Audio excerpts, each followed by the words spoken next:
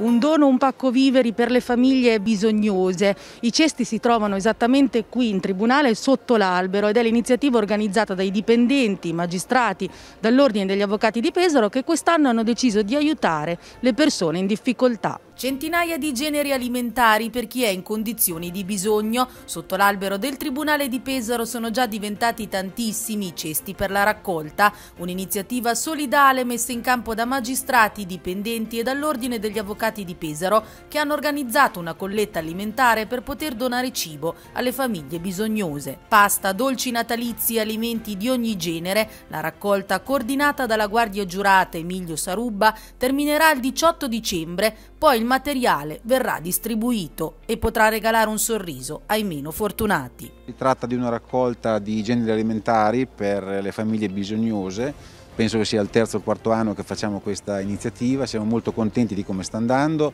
eh, ricordo che eh, l'iniziativa è ancora in essere, potranno essere raccolti generi alimentari preferibilmente non deperibili fino al 18 di dicembre, quindi invitiamo eh, tutti coloro che accedono in tribunale, in particolare i colleghi, a continuare in questa raccolta eh, per la quale dobbiamo ringraziare eh, il Tribunale, il Presidente del Tribunale, il Procuratore, tutti gli avvocati che hanno contribuito, il Consiglio dell'Ordine e anche, devo dire, eh, il, la Guardia Giurata Emilio Sarruba che